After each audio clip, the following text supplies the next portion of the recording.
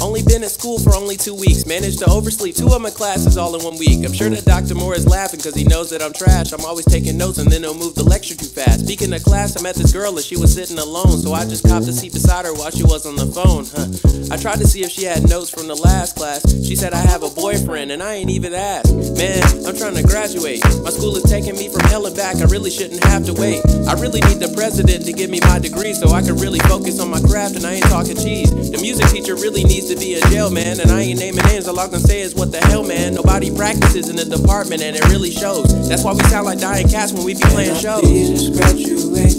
I don't wanna be in school right now. I really have to stay. This is more than I can take.